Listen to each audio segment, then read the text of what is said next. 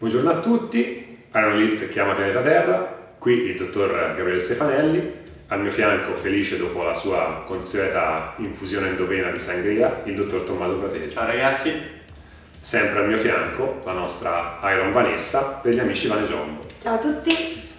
Oggi andremo a parlare dello stacco rumeno. Questo esercizio è sicuramente uno degli esercizi più celebri e utilizzati al fine di sviluppare la catena posteriore, ovvero quella costituita da glutei e femorali. In apparenza anche questo può sembrare un esercizio privo di complessità, infatti spesso nelle palestre ci si approcciano persone che non hanno assolutamente le capacità eh, coordinative e motorie per utilizzarlo al meglio, con risultati alle volte abbastanza disastrosi. Nel video che andremo a vedere cercheremo di focalizzarci sui punti, sui punti più importanti per permettervi di padroneggiarlo al meglio e sviluppare una catena posteriore degna di rispetto. Giusto per anticiparvi quali sono questi punti che andremo a vedere. Prima di tutto quello di stabilizzare con l'addome in modo da non variare gli angoli della colonna, di cercare di tenere il mento vicino al pettorale e di tenerlo lì immobile e quando siamo in massimo allungamento quello di cercare di fare un crunch per guadagnare qualche altro grado di rombo.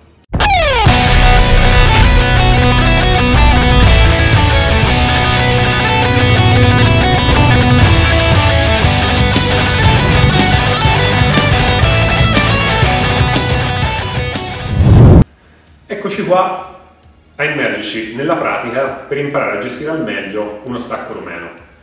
Punto primo, e mi rivolgo anche e soprattutto a chi allena in palestra. L'errore più grande che si fa rispetto a questo movimento è prendere una persona e mettergli un bilanciere in mano, non avendo verificato prima che questa persona sia in grado di effettuare una corretta flessione d'anca, ovvero un massimo avvicinamento del busto alle gambe, mantenendo le curve della colonna in maniera corretta. Se non c'è questa capacità è inutile prendere un bilanciere in mano.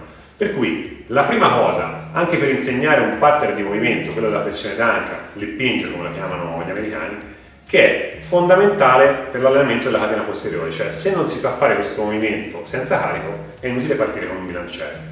Per imparare a fare questo, per insegnare alla persona che l'importante poi anche quando si andrà a fare uno stacco rumeno non sarà tanto pensare al bilanciere, ma al movimento dell'anca, noi creiamo un sovraccarico artificiale sull'anca, dato dalle nostre mani, per cui mettiamo le nostre mani all'incirca all'altezza delle, delle, nostre pelvi, da questa posizione, come vi farà vedere Vanessa, iniziamo a spingere indietro, il mento sta in posizione perché dobbiamo muovere quasi unicamente l'articolazione dell'anca, andiamo più possibile indietro con il sedere, il sedere va indietro, non in basso, quando si è raggiunta la posizione di massima flessione la manteniamo e immaginando di fare una sorta di crunch inverso andiamo a contrarre tutti quei muscoli flessori dell'anca come retto del femore, psoas, che ci avvicinano ulteriormente le gambe al busto per guadagnare qualche grado di flessione, come sta facendo lei. Sentirete tirare tantissimo tutta la catena posteriore, l'idea è quella di un arco che si tende. Da questa posizione, utilizzando le mani come, come, resist come resistenza, si spinge l'anca in avanti. Pensate sempre al concetto di anca che va avanti e indietro.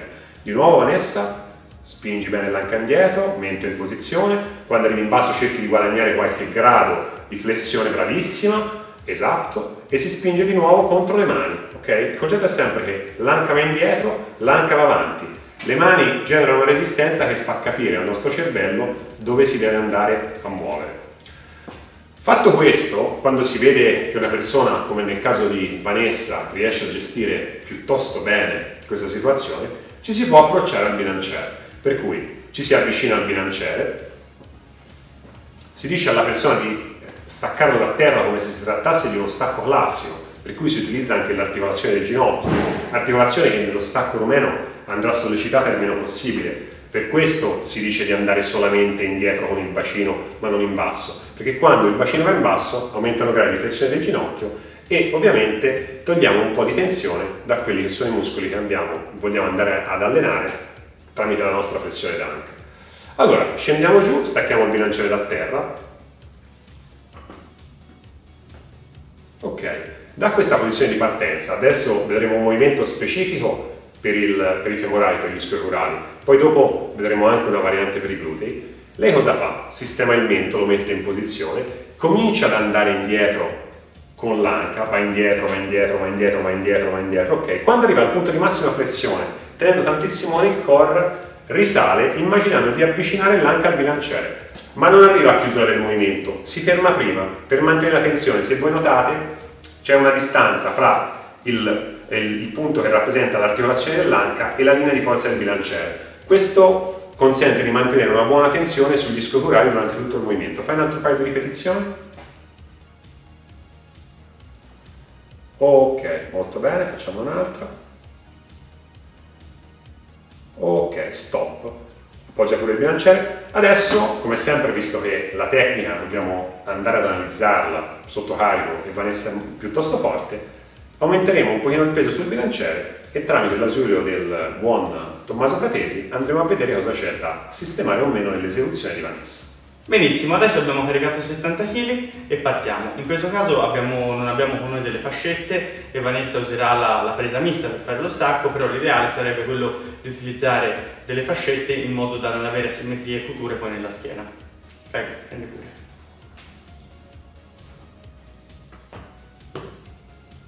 Ok? Allora, da questa posizione qui, abbassa il mento, tieni bene stabile l'addome e possiamo andare su, tieni duro il corpo Ok, spingi forte indietro il sedere, ancora, indietro, buono, stabilizza bene, importante, il mento, controlla il mento, su, tengo duro, ok, ancora, spingo forte indietro il sedere, stabilizza bene con il core, ok, ancora, altro va a fare altre tre, stabilizza forte, forte, forte, lì, tengo, ancora, le ultime due, spingi indietro il sedere, tieni il core, mento basso, vai, l'ultima, cerca di farla, resisti, duro col core, lì, e appoggio. Bene, adesso abbiamo visto un set con 70 kg da parte di Vanessa, eh, come potete vedere è stanca, un set fatto bene con questo peso già eh, è parecchio faticoso. Lasciamo la parola a Gabriele che ci darà degli input su come spostare il focus del lavoro più sul gluteo. Allora, lo stacco rumeno può essere eseguito sia con una enfasi mirata sugli scoturali, ma possiamo anche decidere di lavorare in maniera selettiva il gluteo. Ricordatevi sempre, per lavorare un muscolo dobbiamo fare sì che questo sia il primo a cominciare a contrarsi quando inizia la fase concentrica di movimento, quella attiva. Per cui la variazione che noi diremo di effettuare all'atleta per andare a targetizzare maggiormente i glutei dello stacco rumeno sarà anzitutto nell'inizio della concentrica. Posizionati Vanessa come se avessi un bilanciere in mano, solleva il bilanciere, si parla sempre dall'alto, uno stacco rumeno. Per cui se la fase eccentrica di discesa sarà la stessa di prima, per cui si penserà unicamente ad andare indietro con il sedere, si pensa solo ad andare indietro come se il bacino ruotasse verso l'alto, verso l'esterno si avvicina all'anca bilanciere e nella parte finale si spinge il gluteo verso il tallone. Si vede anche, credo, da, dall'immagine la forte contrazione del gluteo. Per cui questi due tip, quello di iniziare il movimento in concentrica guidando letteralmente i piedi verso l'esterno sul pavimento come a creare una crepa fra i vostri piedi e quello nella parte finale del movimento di avvicinare in questo caso il più possibile l'anca al bilanciere e spingere verso il basso massimizzeranno il lavoro del gluteo. Per cui è una variante da tenere decisamente in considerazione se nel vostro workout state dando una preminenza all'allenamento del gluteo Bene ragazzi, in conclusione vi volevo raccontare la, la mia esperienza con, con questo esercizio che ho particolarmente a cuore perché mi ha comunque insegnato veramente quanto è importante anche il lavoro di isolamento sul muscolo per, per, farlo sviluppare. Perché come ho già detto in altri video faccio powerlifting, sono un atleta agonista sono arrivato a fare nella meno 83 270 kg in gara e 275 in allenamento. Quindi uno dirà sicuramente te non hai problemi non hai bisogno di fare esercizi di isolamento sulla catena posteriore e invece chi l'ha detto si sbagliava perché eh, avevo dei femorali molto deboli e mi sono eh, ritrovato a dover imparare a fare una corretta flessione d'anca perché il, tutto quello che facevo prima, tutto lo stacco romano che facevo mi lavorava nei lombari essendo quelli molto forti e non avendo una, una corretta tecnica su questo esercizio. Dopo essere stato torturato da Gabriele a suon di, di 10x15 con 60 kg, finalmente sono riuscito a imparare il, il corretto pattern, a stabilizzare bene e da qui oltre a sviluppare eh, una maggiore ipertrofia del, del femorale, degli ischiocrurali, sono riuscito anche a migliorare poi eh, il mio stacco non solo per l'ipertrofia in più, ma soprattutto perché eh, conoscevo l'esistenza di un muscolo e sono riuscito a eh, attivarlo in un sistema più complesso e in un'alzata come è lo stacco dove vengono utilizzate tre articolazioni. Quindi spero che questo video vi sia piaciuto, lasciate un commento, mettete un like e soprattutto iscrivetevi al canale. Ciao a tutti! Ciao! Ciao.